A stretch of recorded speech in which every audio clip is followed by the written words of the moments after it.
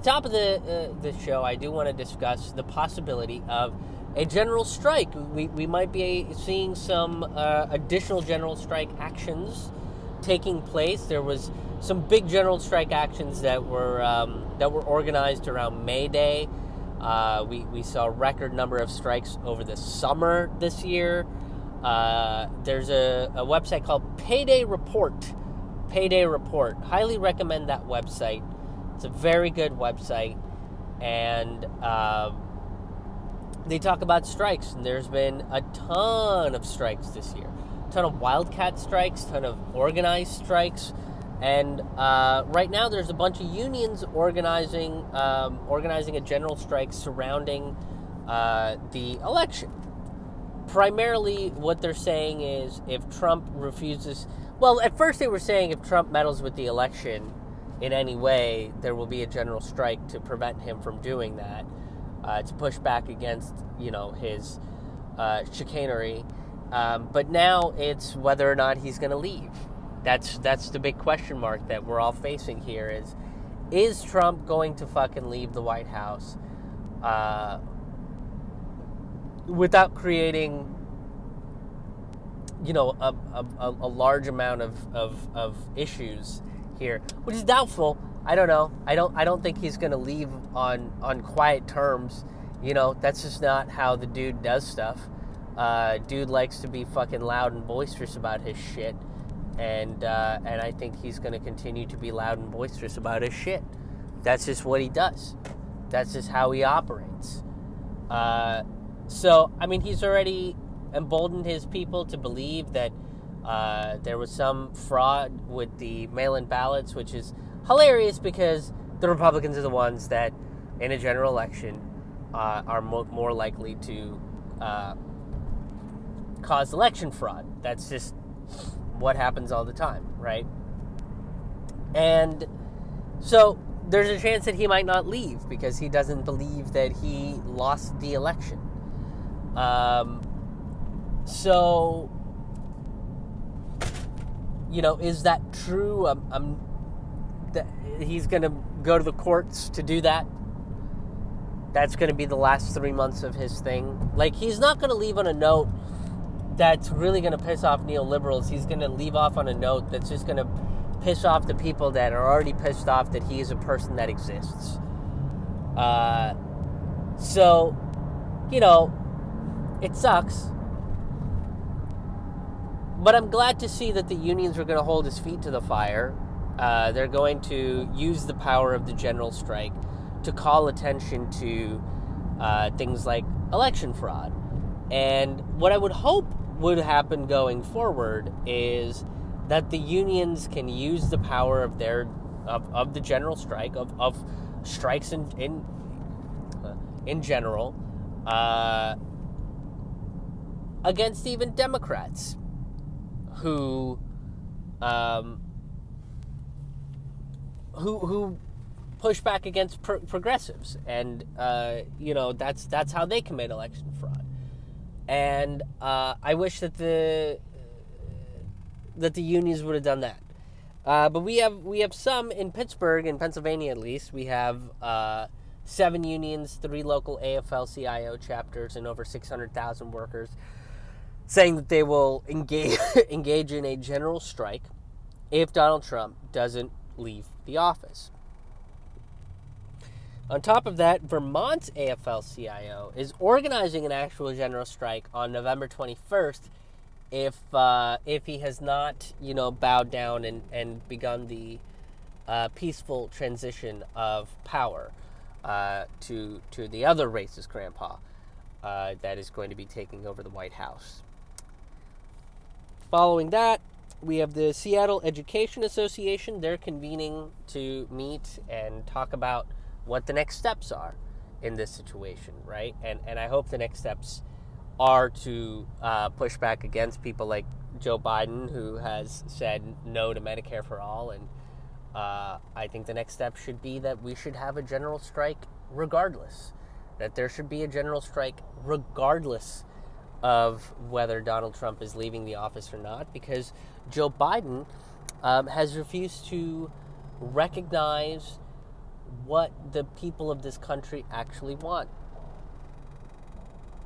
Uh, denying Medicare for all, uh, not banning fracking, uh, no Green New Deal, um, you know, uh, no immigration reform, um, no Medicare for all. I did say that. I feel like I said that before already.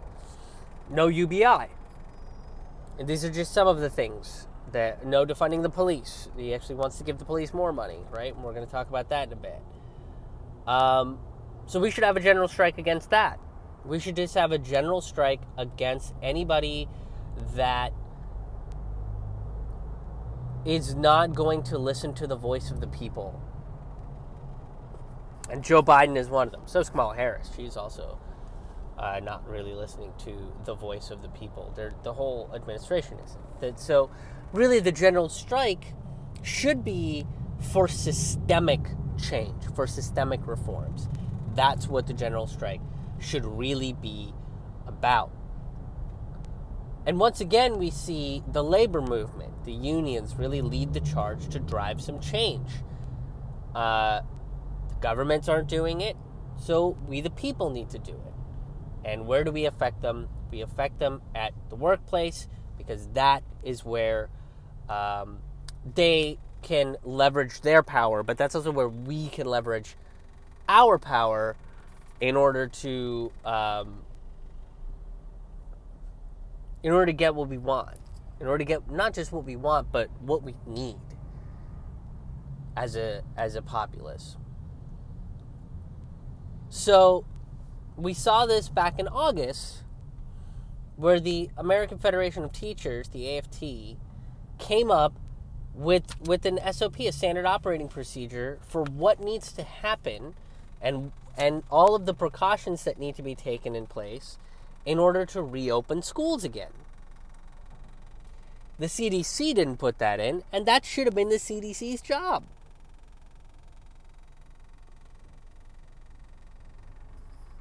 You know, that should have been the fucking CDC's job.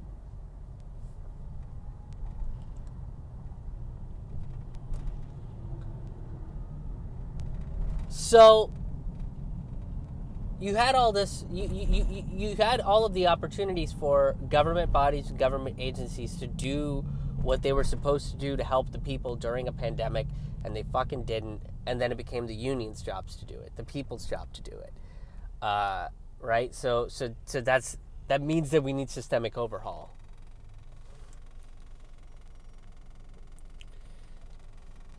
So if we really want to see a free and fair election, if we want to see that at all, if we want to see real electoral reform, real electoral uh, uh, election transparency on all levels, from the primaries onwards, then it looks like it's going to be the unions that are going to, that's going to be able to do it, right? The strikes, protests, that sort of stuff that's who's really going to be able to to push for something like that.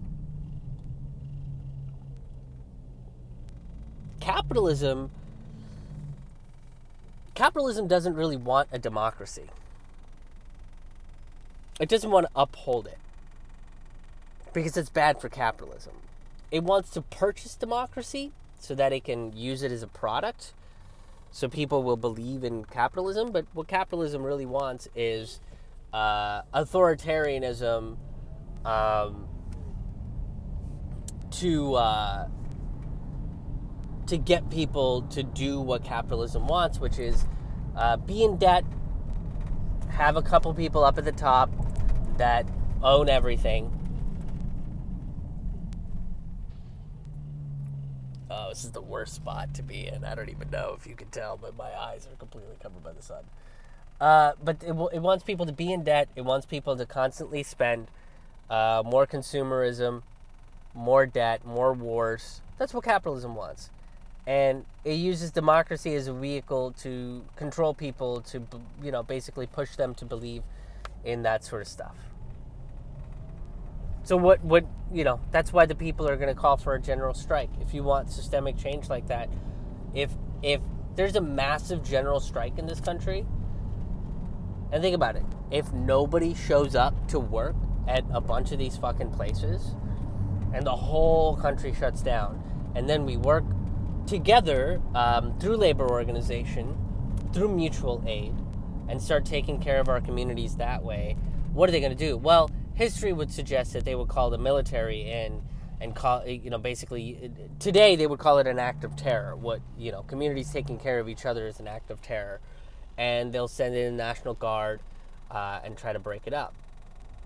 That's what they did in the past. That's what they did in the past. But if that is something that happened, I mean, and and and the demand is that we want uh, electoral transparency and reform on all levels, which means that you know all the stolen votes and all of the exit polls that were uh, showing that you know uh, there was uh, election fraud done by the Democrats against Bernie Sanders, uh, and somebody needs to answer for that sort of shit. Then I bet you that's what will happen. And speaking of the Democrats, the Democrats are not really going to do anything against uh, Trump, ele- uh, Trump election fraud because it exposes them and the election fraud that they've committed in the primaries. So they're not really going to do anything. It's the same thing of like, why didn't why didn't the Democrats go after Trump for the emoluments clause? Well, because they're fucking guilty of it too. So why would they just incriminate themselves? That's why they're not going. That's why they have to come up with other bogus reasons, uh, like this whole story about oh democracy we're upholding this and we're upholding that and voting it's the most powerful thing it's you know there's a quote I, I remember reading where they said if voting was really as powerful as people think it is it would have made it illegal voting's good and i think you should do it to get your voice heard uh, but in this country based on the way that electoral politics works it it has a lot less power than what people think it does. Especially when voting is compromise. And that's the right thing to do, or that's pitched as the right thing to do when it's really not. How did how did the labor movement really get the things that it wanted to get? Well, they marched in the streets, they oh, I don't know if you can hear that at all, but boy, that truck is having a rough go through this through the tunnel. Uh, but how did they get it done? Well, strikes. They held massive strikes. City by city held general strikes. Uh, in 1934, that was like the year of general strikes. There was just general strikes happening all across the country. Um, I did do a Fork Full of Noodles about it. I did, I did several videos about general strikes, how to make that shit happen, and, and um, why it's effective. Uh, well, in 1934, there were much of general strikes. A lot of them were very effective. A lot of them were more effective than others. Um, and then at the end of that, you had FDR, one of FDR's uh, uh, cabinet members, basically come out and say that the striking workers were treason, which made uh, FDR this very liberal, progressive, socialist, democratic candidate uh, basically made his administration look like Republican authoritarian authoritarians. Um, now, FDR's party is responsible for working class socialists to be put into prison because Woodrow Wilson was a Democrat that put the Espionage and Sedition Act into place. So his party kind of kind of has a pattern of doing this. That's sort of a thing that they do, sort of a thing that they like. Uh, but he needed votes. He needed to get elected back into office. So the best and easiest way to do that is uh, by listening to the voices of people, stop using the military against them, um, and pass a piece of legislation called the Wagner Act that gave unions more power. Using the voice of labor, using the voice of the, of the, the power of the working class, power of what's in the workplace.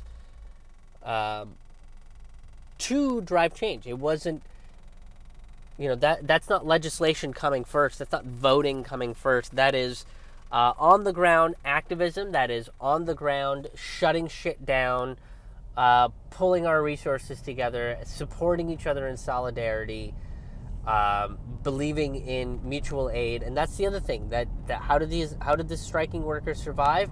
Mutual aid. Farmers came to help um, striking workers in uh, Minneapolis. And they were like, here's food. We're donating a bunch of food to the cause. When they did it in Seattle 1919, they they set up different parts of the city that fed over 30,000 people. Took care of uh, delivering bread and milk to people's houses and oil to hospitals. Mutual aid, solidarity. That's how it's going to be done. Hey, what's up everybody? Thank you guys so much for checking out this video. If you enjoyed the content in this video, make sure you like, subscribe, and share. My content is highly suppressed because this is not topics of conversation that uh, that corporate mainstream media really wants to to to address here. So make sure you like, share, and subscribe. Uh, sign up for my email list. Uh, that way you'll get weekly uh, emails with all of the podcasts and all of the videos that I put out there. Um, and make sure you go to my website and follow me there, uh, krishmohanhaha.com. That's going to be your one-stop shop for all things Krish Mohan. That's K-R-I-S-H-M-O-H-A-N-H-A-H-A dot com. See you in the next video.